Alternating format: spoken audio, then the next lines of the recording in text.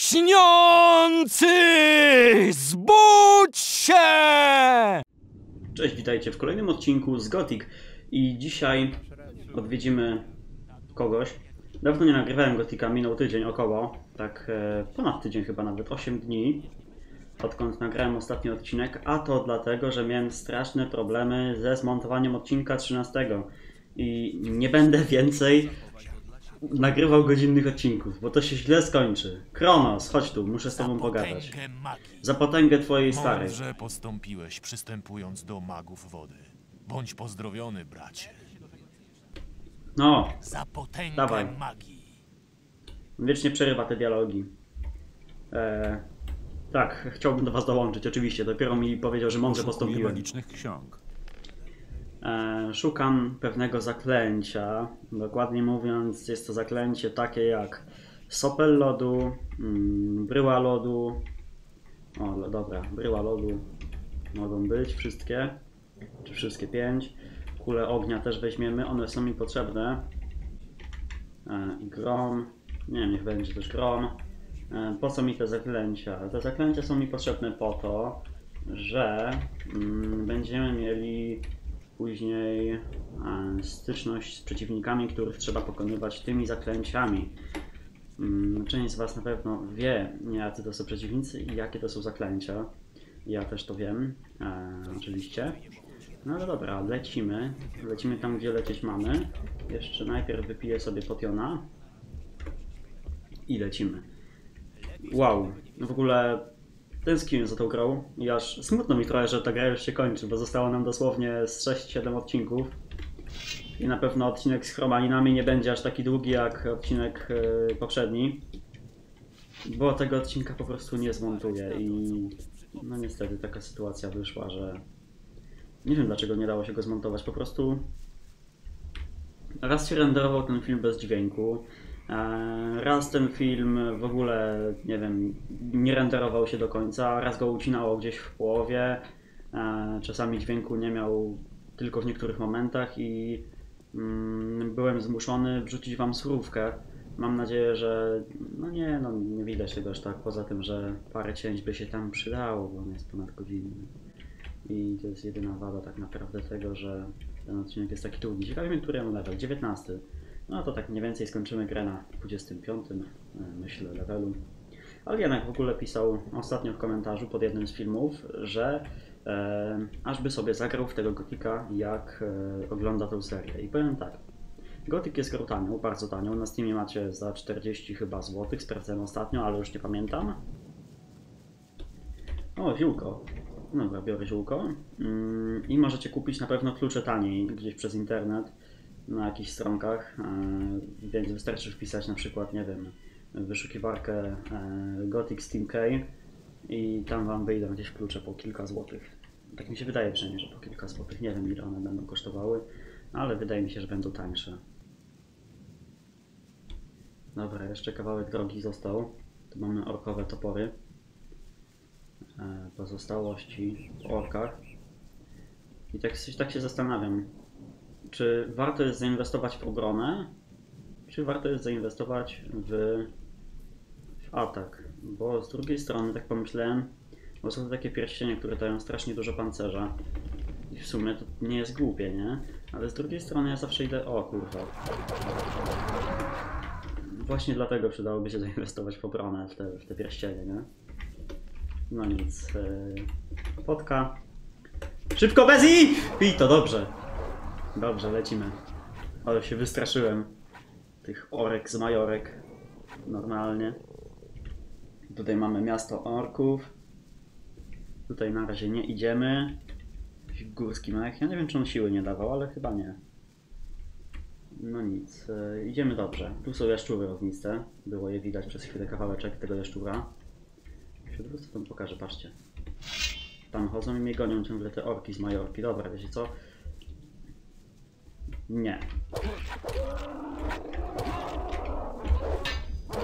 Ty kurwo. Nie ma. Gdzieś tutaj będziemy chyba jeszcze w dwójce wracać. W te rejony. Tak mi się wydaje, że tu będzie jedno z obozowisk, które trzeba będzie odwiedzić. Ale nie jestem pewien. Brzytwy. Ja zawsze w głowie mam brzytwiaki. Ja nie wiem, czy w płytowej wersji tej gry one się nazywały brzytwiaki, czy, czy one się nigdy nie nazywały brzytwiakami. Skąd się ta nazwa w ogóle wzięła? Bo nie wiem. Nie ogarniam. Co jeszcze kąsacze? Nie, naprawdę, skąd ja mam w głowie brzytwiaki? Hmm, nie wiem. Ostatnio też przed filmy z Command and Conquer z Krzysiem. Tych odcinków mam nagranych więcej. Mam nadzieję, że Wam się podobał. I ja już nie mogę się doczekać, aż będę montował kolejne, bo naprawdę tak dobrze mi to wyszło. Ten pierwszy odcinek, jak nie oglądaliście, no to obejrzyjcie, bo to co ja zrobiłem tam inżynierem, jak on się zdziwił, no to jest wow, to była magia. Dobra, eee, potrzebujemy, tak, chwila. Mamy wszystko do siły, nie? Tak, mamy do siły. Bardzo dużo siły z tego leci. Em, Ognisty pocisk na dziesiątkę. Bryłę lodu jeszcze sobie zamienimy z... Dobra, nie mam ognisty pocisk, to nie ma sensu. Bryłę lodu sobie pod dziesiątkę. Zerówkę prawidłowo. No dobra, no to lecimy.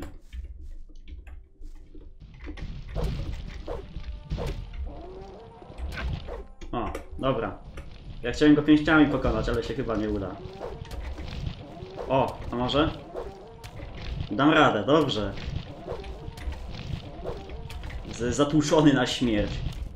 Kamienny golem. Kim ty w ogóle jesteś? Nie wiem. To nie było zbyt duże wyzwanie. Ach, ta skromność, nie? Dobra. Teraz już nie będzie tak łatwo. Ja wziąłem to serce?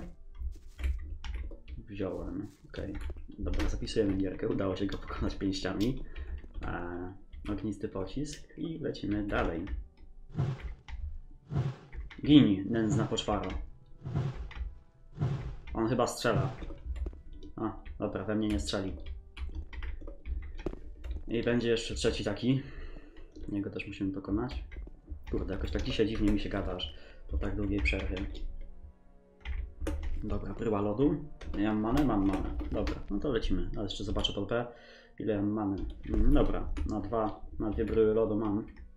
Najwyżej sobie dopiję, mm, jak mi braknie.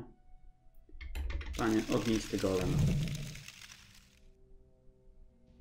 Gini. Co jest? On przez to przebiegł. Nie wiem, dziewiątka? Pod dziewiątką mam grom. Dobra, to wiem. Walniemy mu bryłę lodu najpierw, a potem... No, zaznacz się. Ty brudny.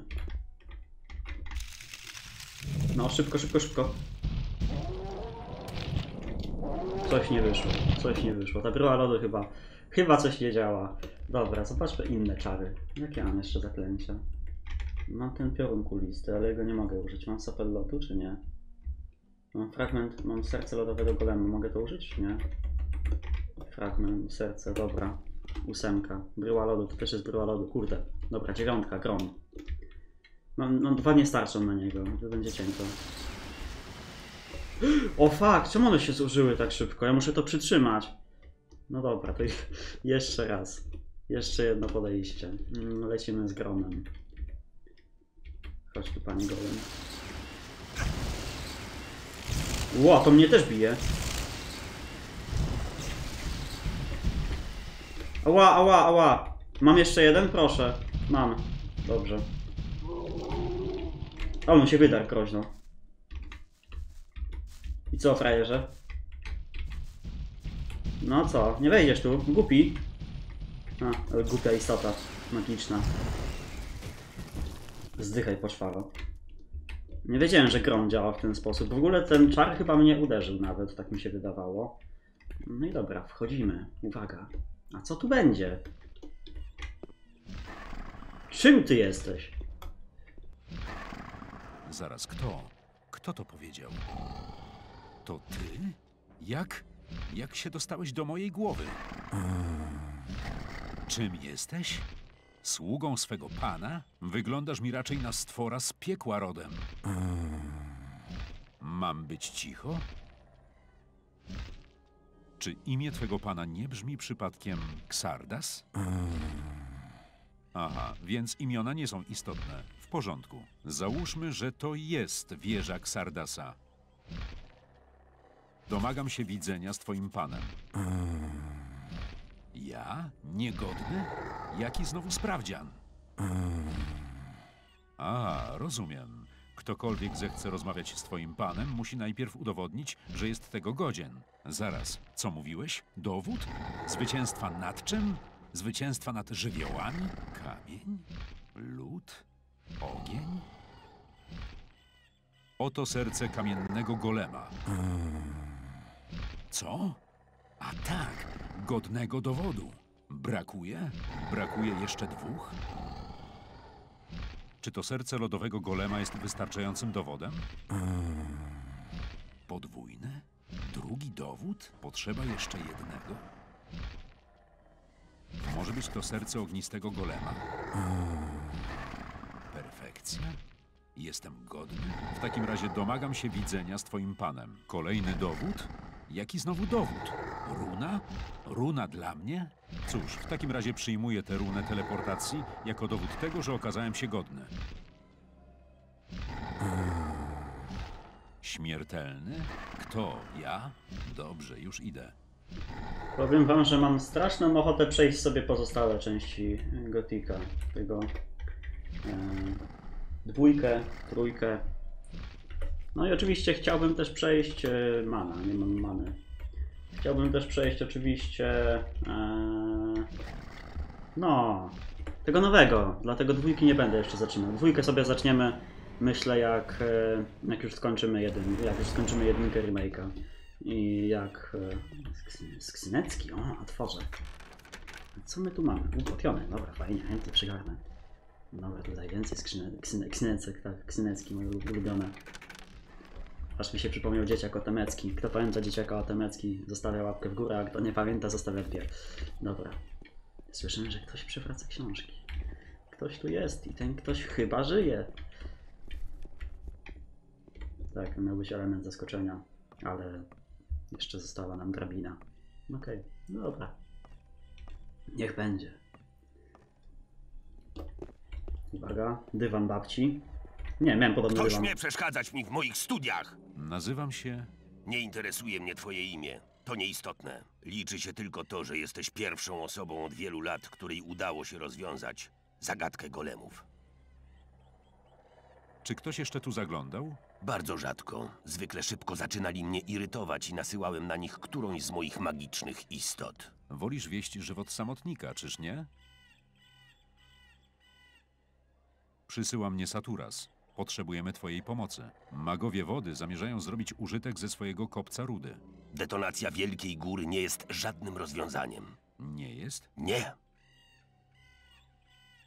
Wszyscy magowie ognia zginęli. Gomez kazał ich zamordować. Nie powiem, żebym był szczególnie zaskoczony.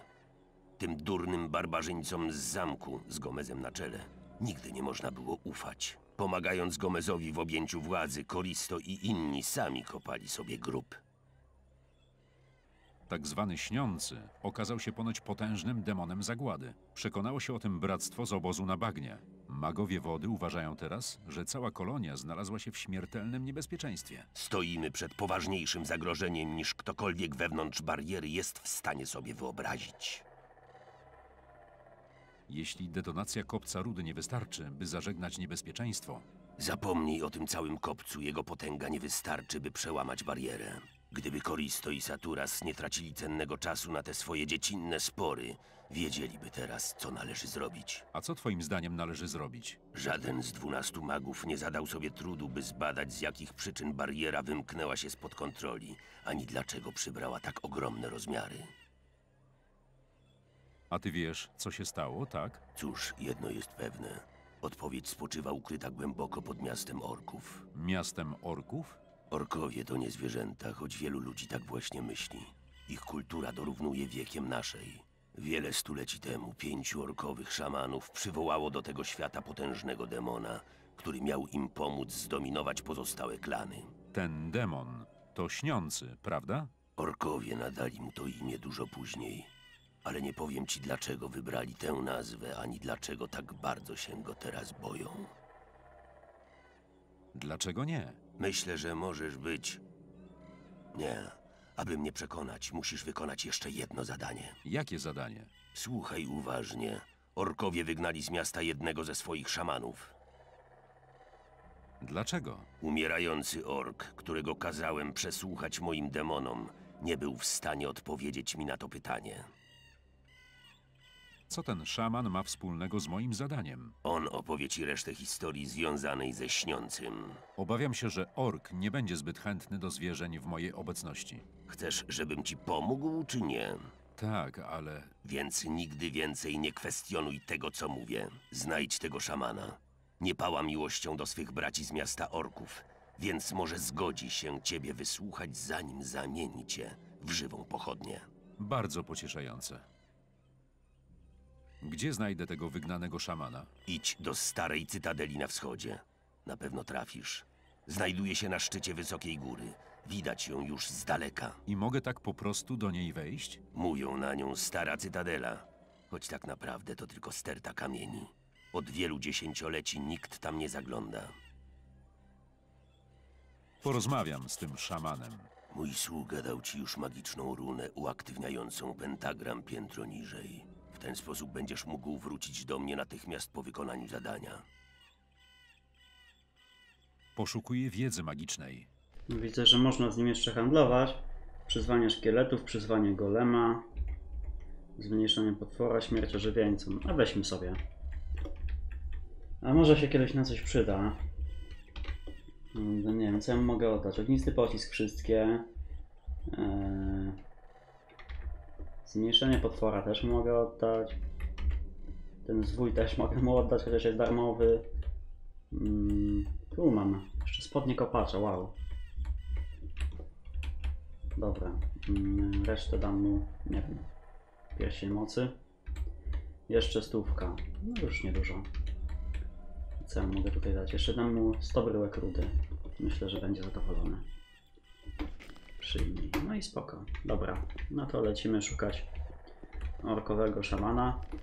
To była jakaś taka rymowanka. Hokus pokus, jabłko banan. Twoja stara to ork szaman. O kurwa. O nie. Prawie się zabiłem. Dobra, ale to było śmieszne, no. Mnie to rozbawiło, kogo to rozbawiło, zostawię łapkę w górę. A kogo nie, też zostawię łapkę w górę. No dobra, lecimy dalej.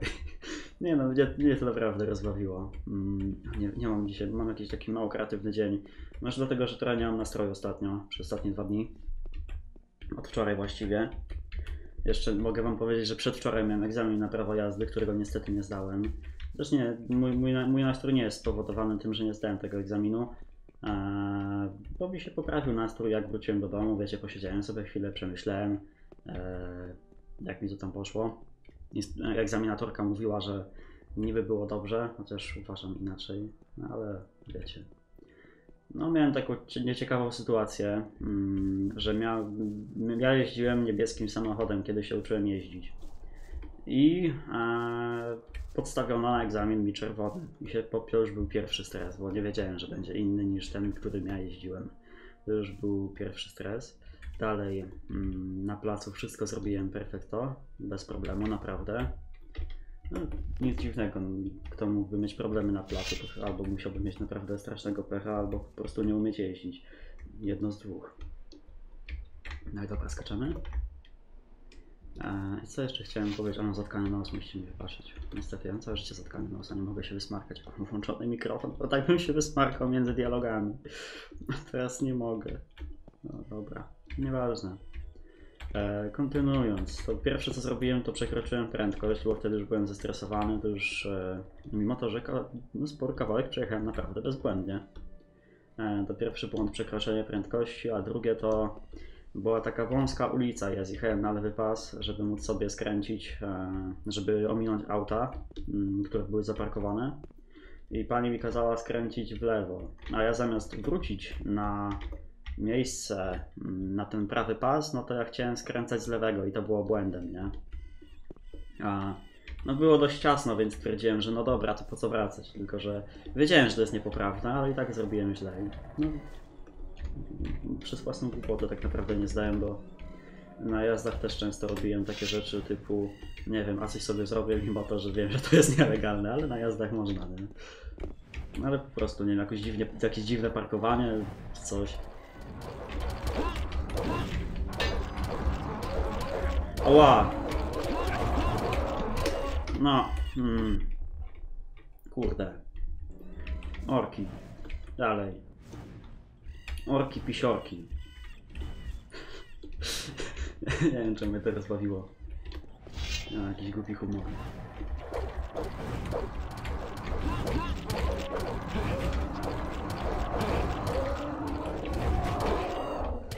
Dobrze.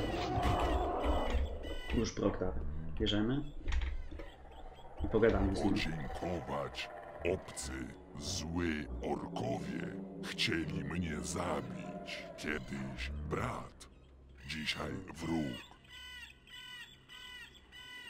Kim jesteś? Jestem Urszak. Jestem syn ducha. Ludzie mówią szaman.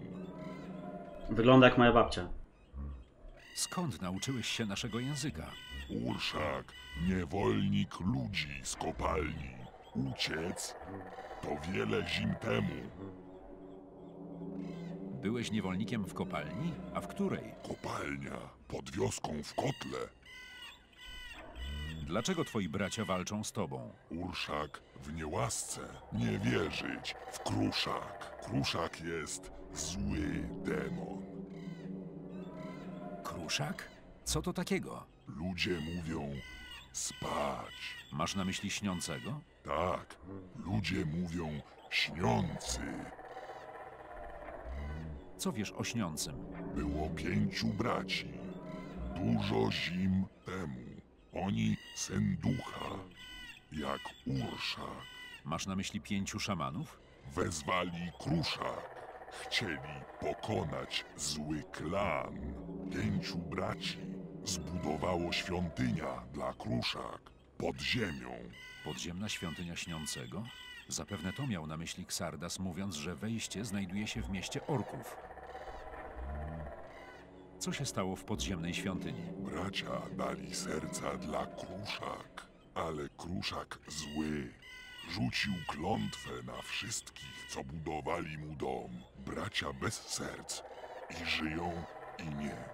Tak i tak. Kruszak ma serca braci. Serce da mu moc. Co stało się z budowniczymi, którzy wznieśli świątynię śniącego? Wszyscy przeklęci. Wszyscy żywi i martwi. Tak i tak. Wszyscy. A orkowie na powierzchni nie próbowali temu zapobiec? Oni zamknąć świątynię. Dziś bracia modlą się do Kruszak. Kruszak dostaje ofiary, żeby nie był zły. Urszak myśli, że ofiary niedobre. Powiedział, że Kruszak zły. Bracia nie chcą słuchać. Mówią Urszak iść. Bić Urszak. Muszę się dostać do tej podziemnej świątyni. Możesz mnie tam zaprowadzić? Urszak dziękuję obcy. Obcy uratował Urszak, ale wejście do świątyni jest w domu. Urszak nie może tam iść. Rozumiem. Obawiasz się, że twoi pobratymcy nie wpuszczą cię do miasta. Trudno. Spróbuję się jakoś przebić do wejścia. Bracia w domu bardzo silni. Bracia bardzo wielu. Obcy nie iść. Dużo wojowników. Obcy zabity. Inni syn ducha w domu. Spalić obcy. Zabić obcy.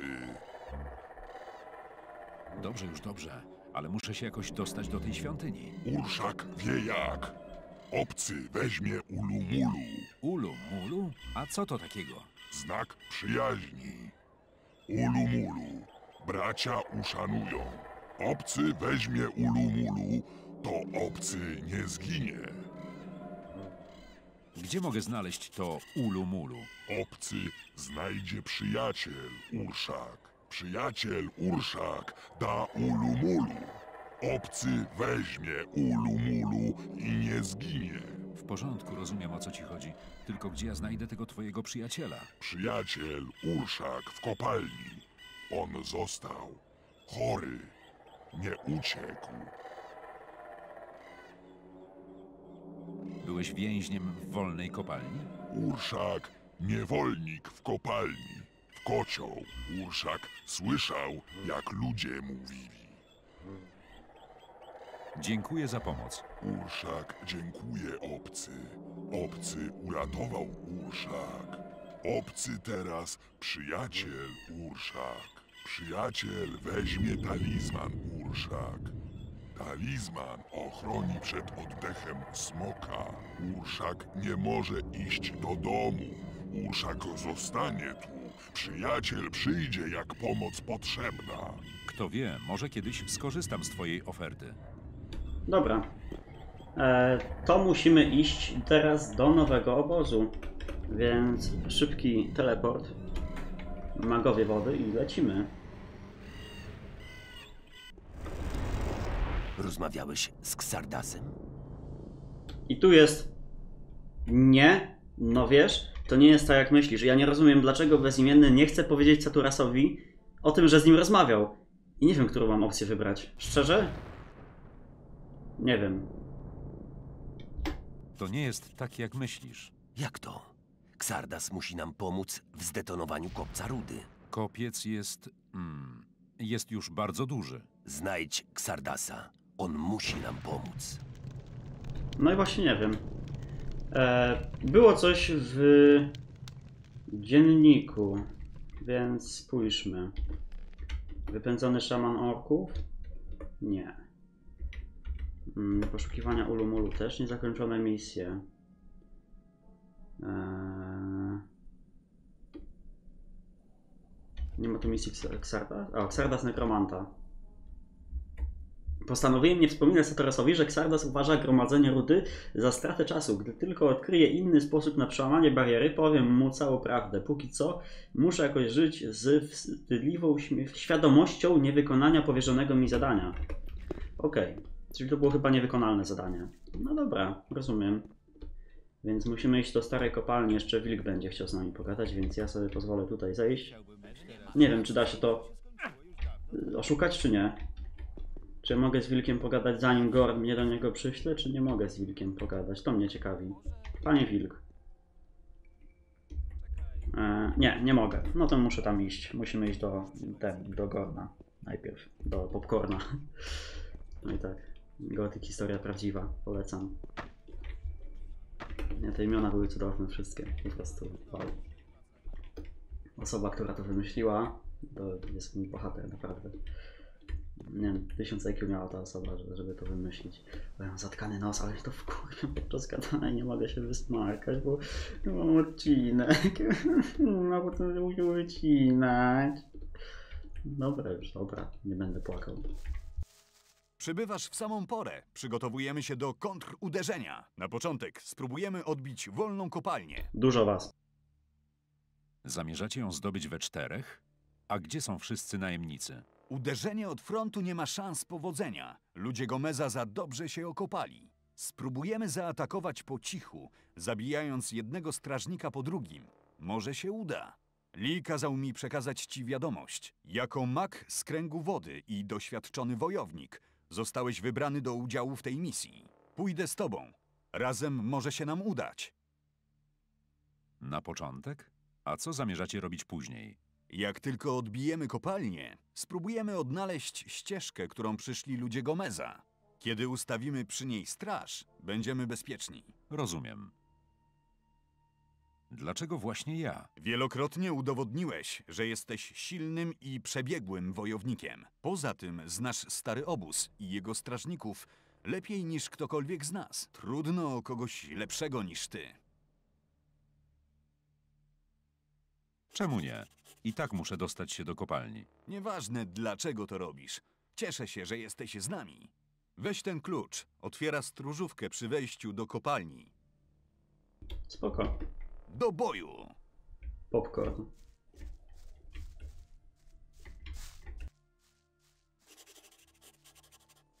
O, prawie zapomniałem. Wilk chce z tobą koniecznie porozmawiać, zanim ruszymy do kopalni. Więc lepiej do niego zajrzę. W porządku. Zaczekam na ciebie tutaj. No opłaca się nam tam pójść, bo dostaniemy drugi najlepszy pancerz w grze. Moglibyśmy kupić też szatę maga, arcymaga wody, ale... Czy jest po co to kupować? Czy ja wiem? No nie wiem, lepiej sobie wziąć ten pancerz za darmo i zaoszczędzić te bryłki rudy, których tak mam od cholery i mogę mieć jeszcze więcej. Jeszcze mo możemy Riordiana nastukać, żeby dał nam potiony. To też jest jakaś myśl. Tak? On miał na imię Riordian, ten co robi potki? Chyba tak. Myślałem, że to się No nieważne, zaraz, zaraz zobaczymy, mm, który to był. I tego nastukać. Weźmiemy od niego potki. Chyba Riordiana. Nie ma go? Nie, nie ma go. Tu jest. No dobrze, panie kolego. No dobrze.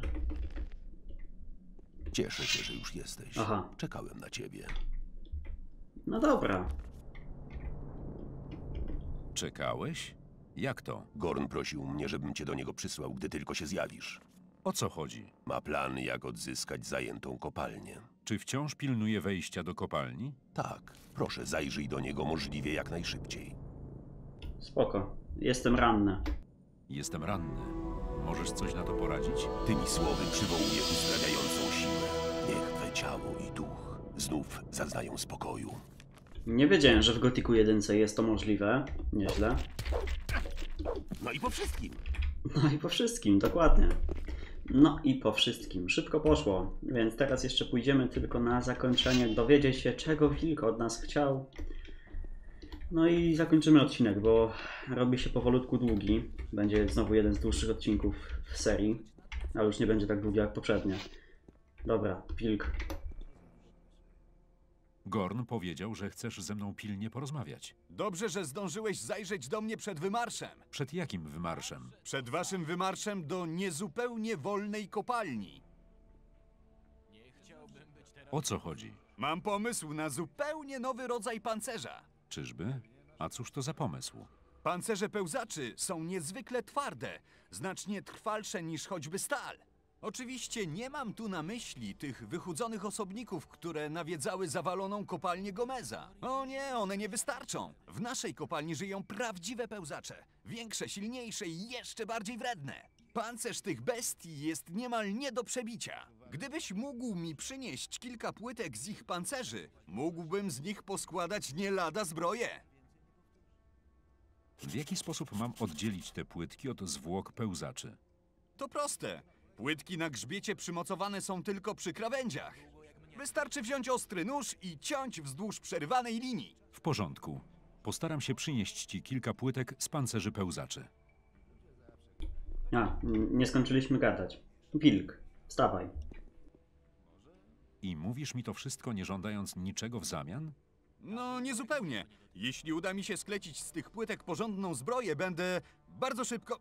Bardzo dużo. A, nieważne. Bardzo szybko i bardzo dużo zarabiał.